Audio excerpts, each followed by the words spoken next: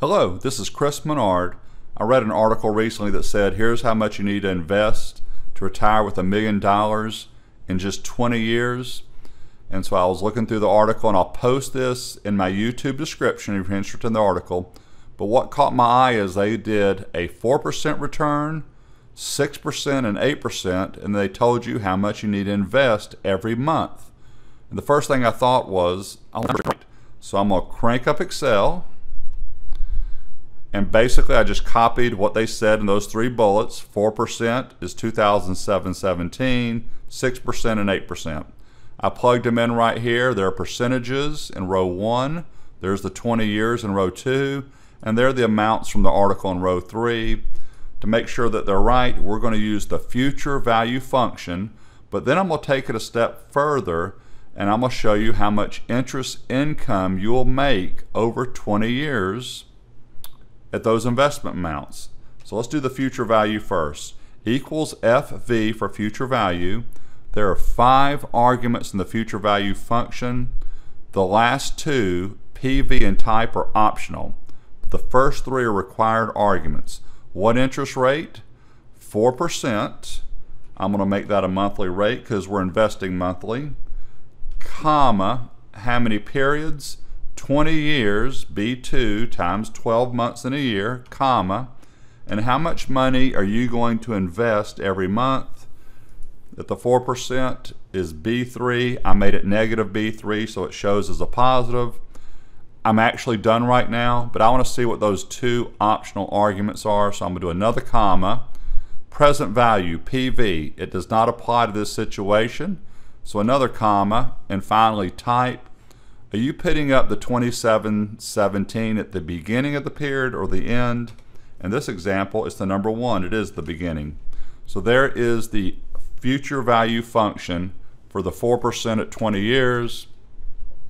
That is close enough to a million. Crosshairs, pull over to the right. Column C is our 6% 20 years, and column D is 8%. I'm going to stick with this 8% right now. So there's your million bucks. There is your 1686 you got to put in there. I'm also going to figure out, because that's a pretty aggressive number to be investing every month, depending on what your monthly salary is. So I'm going to go figure out what your monthly gross would be, and then we'll figure out what your annual gross would be to do that.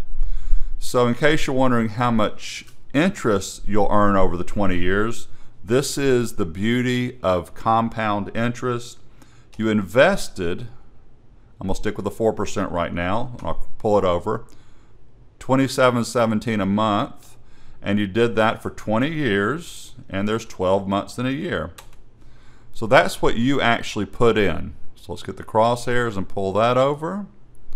So therefore, your interest income is the total future value minus what you put in there. Watch how much interest you earn at this 8%. This is amazing. So I'm gonna do a little rounding, so almost 600,000. By the way, that 8% right there, that is very doable. A lot of mutual funds that match the index fund or match the index, they get 8% or more. I want to look that up. That's not a problem. So at 8%, 20 years, you put in that amount, you're going to get almost $600,000 in interest income. So that's a pretty aggressive amount to invest depending on how much you make. So let's go take a look at what you need to make now. So I had, I figured, let's say you can do 20%. So that would be equals B3 divided by 0.2 or 0.20. That would be your monthly salary, 8,430 for 8%. Let's see what that is annually. You're just going to take the monthly amount and make it times 12. So the first two, you're making over $100,000. The third one, you're still making over $100,000, but you're just barely over it.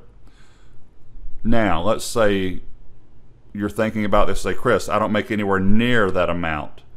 Watch what happens when we go from 20 years. This is why it's so important to invest early.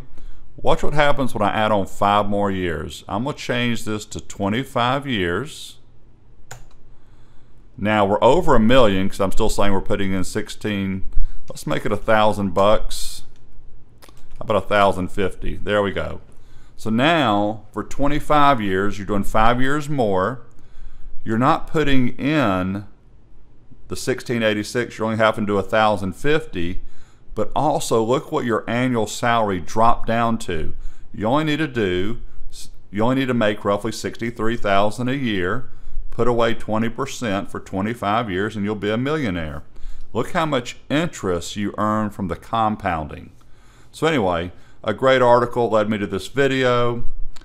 Thank you for your time. Feel free to subscribe to my channel and have a wonderful 4th of July.